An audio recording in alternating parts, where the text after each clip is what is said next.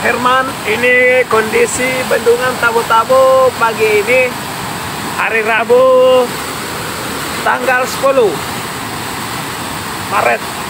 Ah, ini kondisi. Debit air sudah sangat besar. Nah, tadi. Jadi mungkin eh, daerah kota kota Wow. Banjir, banjir, banjir.